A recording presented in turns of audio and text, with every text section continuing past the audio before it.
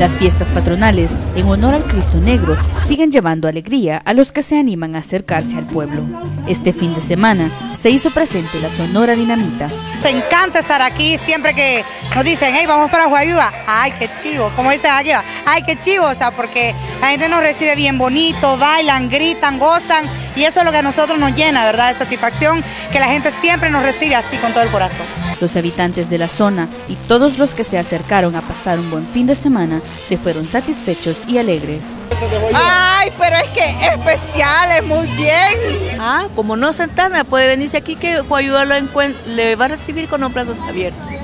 Muy bien. Hubieran estado mejor si me hubieran traído a Bravo.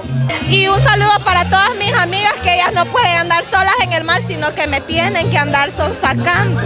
Baile, música en vivo, amigos y diversión fue el ambiente que ofreció Huayúa a todos los que se acercaron a sus fiestas patronales. Ciudades más hermosas que tiene El Salvador y su gente más que todo, ¿verdad? Eh, siempre nos reciben bien, ya son tres años y siempre ha sido con mucho amor, con mucho cariño. La gente es lo más especial, el clima sin embargo es una de las ciudades más bellas.